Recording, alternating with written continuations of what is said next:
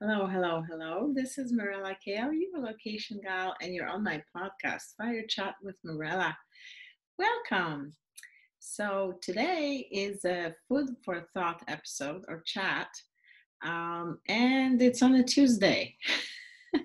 but I think I'm getting a pass for this one because it is, after all, still 2020, and you know, things have been a little skewed or a lot skewed, and crazy, right? But um, I think most of us are happy that we're almost coming to the end of this year, which is great, right? Um, and um, we do want we have a lot of hopes attached to the new year because uh, we're all thinking, well, it's a new beginning. It's bound to start something better. We're, of course, we're still dealing with the uh, pandemic and uh, with the you know the remainder of what uh, we need to put up with with 2020.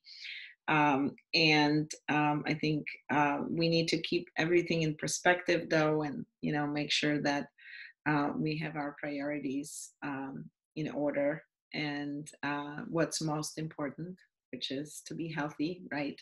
And everything else will fall into place, so to speak, right?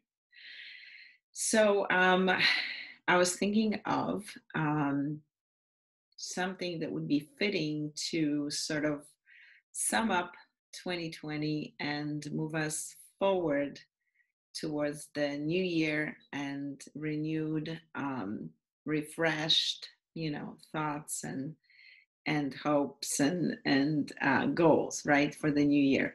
So um, here goes. Carpe diem. Quam minimum credula postero. Wait what did she say Well, seize the day. Put very, very little trust in tomorrow. Seize the day. Put very little trust in tomorrow. Well, seize the day is pretty popular, right? Carpe diem. The second part, maybe you haven't heard before or didn't catch. Um, it is, of course, a very well known um, quote uh, that is attributed to a Roman poet, Horace, and it's um, over 2,000 years old. It's in Latin, and um, I think it's a it's a great quote, right? To um, to sum it up and say, you know, we really lived this entire year.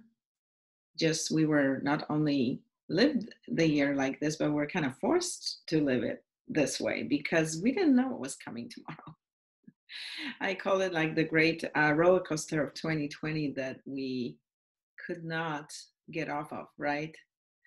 Um, so it, um, I think, whatever 2020 brought um, to you personally, and I'm sure a lot of us have things that are unfulfilled or goals or um, things that we want to accomplish. I know that I do, and so I think the the encouraging thing is that um, we're moving into the new year. So I think with that there are ref- refreshed and renewed, um, you know, goals and and hopes and uh, and everything else. So there is a new energy, right? Um, a new energy that's happening, and um, a friend of mine, however, mentioned this the other day that I think we should be really happy and proud of whatever we have accomplished in this last year because it was really challenging and just getting through the year was challenging. So it's not an excuse, it's just something that, you know, had to be dealt with, and a lot of us had a lot on our plates to deal with, right? So uh, there you go. Now, with this concept though carpe diem you know um, i think it's good to move forward because it urges us to seize the day right? Even more so than before and i think um, that brought it to light more than ever right now how important it is to do the things that um, that we want to do with our lives because you know it's it's not always going to be tomorrow, right? We got to do it when we have the opportunity. So it talks about, you know, it, it's to me, it means, you know, what is the meaning of life? What do you want to accomplish really in life? So I came across this really great book, um, and it's by Roman Krznaric. He is a modern popular philosopher from Britain. And um, he wrote a book called um, Seize the Day The Vanishing Art of Seizing the Day. basically well to be to be true to his title i'm gonna look this up here real quick so his book is called exactly that Carpe Diem Regained. There it is. Carpe Diem Regained The Vanishing Art of Seizing the Day. And what I like about it is, from what I gathered, which I still yet have to read this book, and which I can't wait to do, just that. Um, and he talked talks about uh, the popular culture really hijacking this term and um, what's behind it, right? The seizing of the day, because everything is so this minute, right? It's like right one click away. Just click it and you can order it and we'll come here and it will, we'll be fast. And, you know, we're kind of moving away from what it means, um, you know, to live in the seizing of the day uh, towards getting things right? Right away. So getting to things and and stuff that we want. Um and um the little uh you know caveat is that um he, you know his book is available uh, by click right on amazon.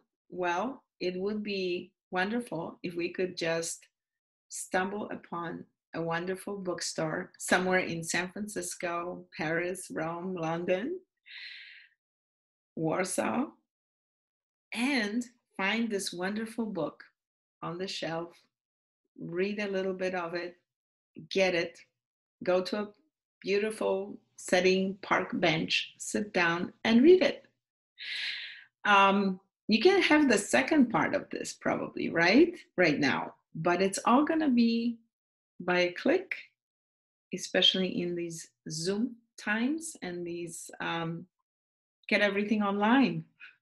But at least we'll, we're, we're safe. You know, we know we're safe, safe when we do it this way. So um, so that's the the plus. And so I urge you to read the book. I will put a link to it or to the description. You can read more about it. And he has some other interesting books out. This this particular book book was published. It looks like 2017. Um, and um, it's I think very applicable to right now. So I want to wish you a healthy, beautiful, wonderful, fulfilling year 2021. Um, and before that year comes, uh, there are the holidays. So I want to wish you um, happy holidays. But I celebrate Christmas, so I want to wish you a Merry Christmas. And whatever you celebrate uh, or don't, happy that, right? So I want to wish you that. But first of all, be healthy and, um, you know, celebrate with your loved ones, family, friends, uh, whoever you can find, whoever you can zoom in on or call. Do call at least one person and talk to them and see how they're doing. You know, I think that's the least we can do, right? This holiday, if anything.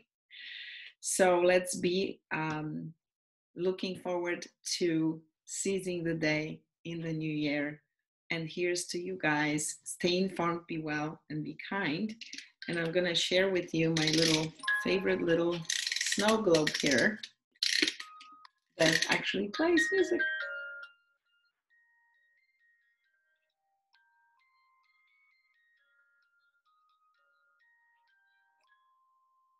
There you go. Stay informed, be well, be kind and I'll talk to you soon.